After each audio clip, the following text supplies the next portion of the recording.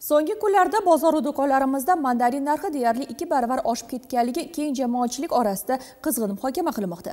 Masalan, poytaxt bozorlarida ushbu sitrus mevasining narxi 50 minggacha ko'tarilib ketdi. Holbuki, bundan chamasi 15 kunlar muqaddam uning narxi poytaxt bozorlarida 20-25 ming so'm atrofida bo'lgan edi. Ijtimoiy tarmoqlarda ushbu qimmatlashishni har kim turlicha izohladi. Hatto ayrim yurtdoshlarimiz mandarin narx-navosini keskin ko'tarilishiga bojxonadagi muammolar sababdir deya fikr ham bildirishdi. Ushbu fikrlarga davlat bojxona qo'mitasi matbuot xizmati munosabatini bildirdi. Mandarinni respublikamizga import qilishda demak yigirma foizlik import bojxona boji stavkasi qo'llaniladi shuningdek qo'shilgan qiymat solig'i undiriladi. Va aynan mana shu stavkalarda ham hech qanday o'zgarishlar bo'lmadi ya'ni import boji oshirildi qabilidagi mish mishlarga umuman asos yo'q.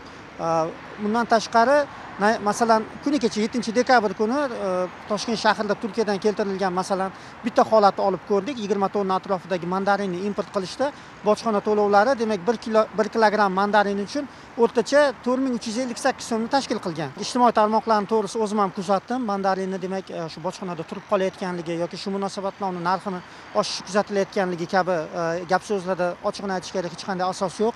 Chunki bugungi kunda bojxona organlari faoliyatiga xavfni boshqarish tizimi joriy qilingan bo'lib e, respublikamizga import qilinayotgan meva sabzavot mahsulotlari asosan yashil va sariq yo'laklarda E, bojxona rasmiylashtiruvdan o'tkazilmoqda. Ya'ni bu e, o'sha kirib kelgan mahsulot bir necha soat ya'ni bir necha sutka emas bir necha soat ichida demak import bojxona rejimiga rasmiylashtirilmoqda.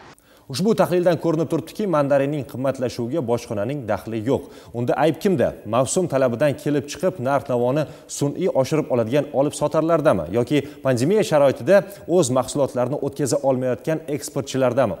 Biz ushbu masala bo'yicha boshqa tomonlarning ham fikrlarini tinglashga tayyormiz.